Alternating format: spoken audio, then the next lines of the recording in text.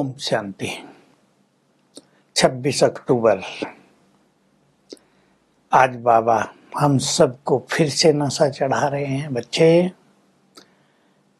जिसको सारा संसार ढूंढ रहा है, जिसके लिए भक्त तीर्थों पर जा रहे हैं, जिसको पाने के लिए वेद शास्त्र पढ़े जा रहे हैं, तुम अब उनके सम्मुख बैठे हो। बहुत सुंदर बात है ये। मैं आया हूँ तुम सबको फिर से देवता बनाने के लिए। सबसे बड़ा hero part in Lakshmi Narayan का है। यही ब्रह्मा सरस्वती बनते हैं।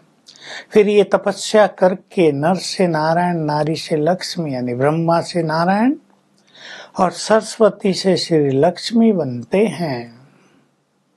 सबसे बड़ा सुंदर पार्ट इनका है। तुम भी इनके साथ हो। मैं फिर से इनका राज्य स्थापित कर रहा हूँ। तुम भी उस विश्व के मालिक बनोगे। क्यों? क्योंकि तुम मेरे साथ वो राज्य स्थापित करने में सहयोग कर रहे हो। तो जो बनाएँगे वही तो पाएँगे।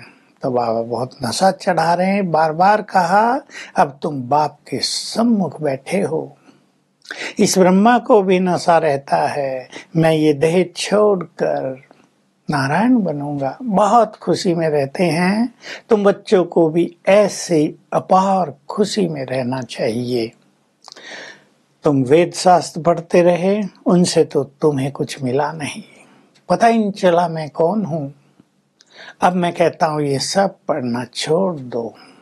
मैं तुम्हें ज्ञान का सार सुना रहा हूँ। मैं ज्ञान का सागर हूँ।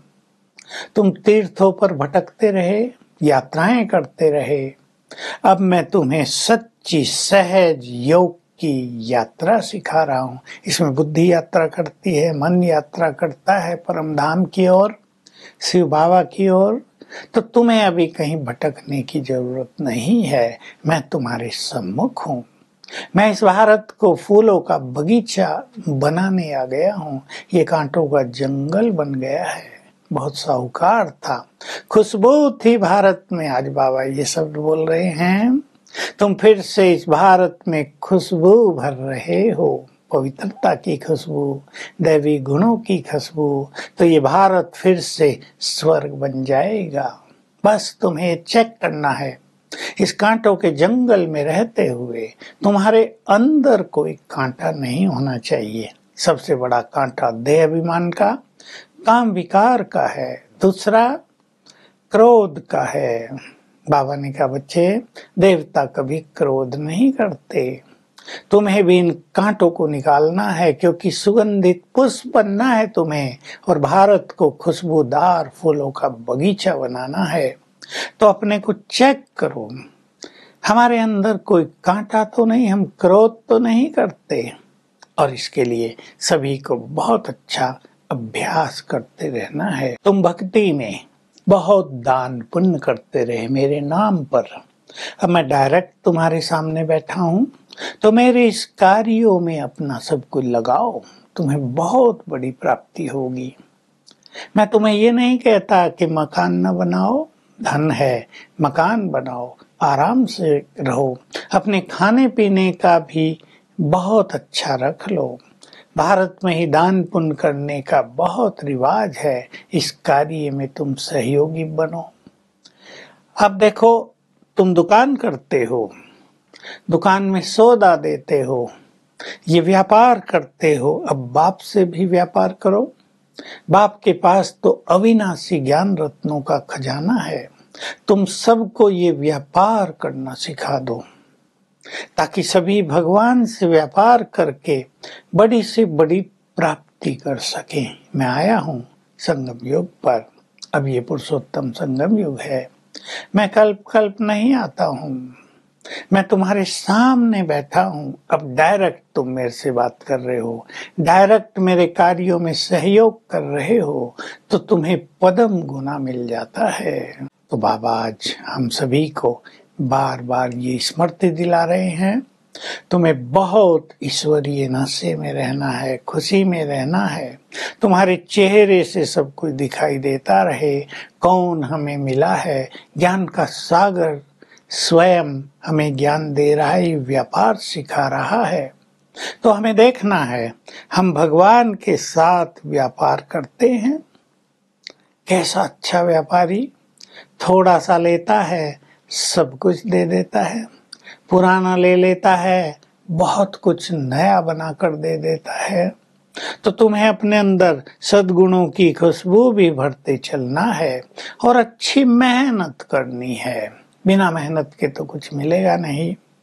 तुम्हें इन विकारों को जीतने की मेहनत करनी है। कुछ भी कांटा अपने अंदर रह न जाए, नहीं तो चुभता रहेगा, दुख देता रहेगा। तुम्हें अपने कर्मों पर भी बहुत ध्यान देना है। तो क्रोध पर हमें विजयी बनना है। आज विशेष रूप से इस पर चिंतन करेंगे। क्रोध क्यों आता है मुझे? दूसरों से ज़्यादा कामनाएँ रहती हैं, वो पूरी नहीं होती तो क्रोध आता है। काम क्रोध को जन्म देता है, काम वासना ज़्यादा तो नहीं है। इच्छाएँ पूर्ण नहीं होती, क्रोध आता है। हमें स्वयं को इन कामनाओं से मुक्त करना है। और एक स्लोगन याद रखेंगे, धैर्यवत होकर इस क्रोध पर विजय प्राप्त करो। ये ड्रामा बना बनाया है। कोई ये नहीं कह कह सकता ऐसा ड्रामा भगवान ने बनाया ही क्यों? आधा सुख, आधा दुख, ऐसी बात नहीं है। थ्री फोर्थ सुख मिलता है तुम्हें। थोड़ा सा कलयुग के अंत में आकर दुख मिलता है। ये बना बनाया खेल है। ये किसने बनाया, क्यों बनाया, ये प्रश्न नहीं उठता। मनुष्य अपने कर्मों के आधार पर इसमें सुख और दुख पाता रहता है। वरदान है। सहनशीलता के गुण द्वारा कठोर संस्कार को भी बदलने वाले संतुष्ट मणि भाव बहुत अच्छा संबंध है। जो संतुष्ट रहते हैं, वो सहनशील बहुत होते हैं। और जो सहनशील होते हैं, वो खुद तो सॉफ्ट रहते ही हैं, लेकिन दूसरों के भी कड़े संस्कारों को सॉफ्ट कर देते हैं। तो अपनी सहनशीलता के द्वारा, जो संबंध में रहने वाली आत्माएँ हैं, जिनके को कटु संस्कार रहते कोई बोलने का संस्कार है गुस्सा करने का संस्कार है, उसको भी वाइब्रेशंस देकर ठीक कर देना है। ये है संतुष्ट मणियों की पहचान। स्लोगन है, जो वाणी द्वारा नहीं बदलते, उन्हें शुभ संकल्पों के वाइब्रेशंस द्वारा बदलो। तो आज हम फील करेंगे। भगवान के सम्मुख बैठे हैं। और अभ्यास होगा, सुंदर। मैं मास्टर ज्ञान सूर्य हूँ। और ज्ञान सूर्य बाबा सामने है, सम्मुख है। सामने से उसकी किरणें पड़ रही हैं। हर घंटे में एक बार ये सुखद अनुभूति करेंगे।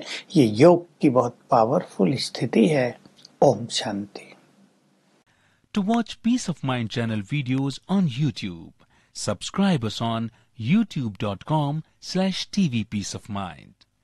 Just a click for a peaceful life.